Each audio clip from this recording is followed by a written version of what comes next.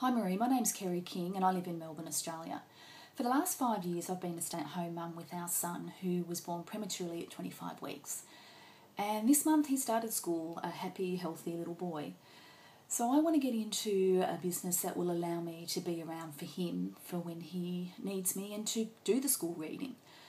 So recently I started a business called Balance Virtual Assistant Services to offer mums in business and mum, mumpreneurs uh, help in their business and to, and to give them back some balance. I've started networking with these mumpreneurs and I've quickly seen a need uh, to help mums in business with their sales and their sales process. A lot of them are scared to pick up the phone, they don't understand a sales process, they don't uh, understand how to make that first call and to how to find those sales leads.